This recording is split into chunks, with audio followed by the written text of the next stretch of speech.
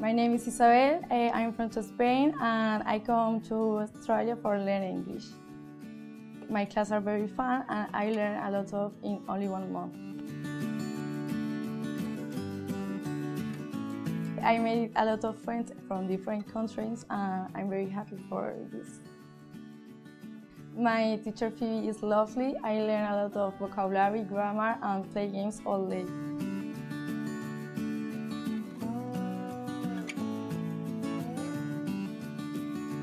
I love this experience and I will like come back the next year.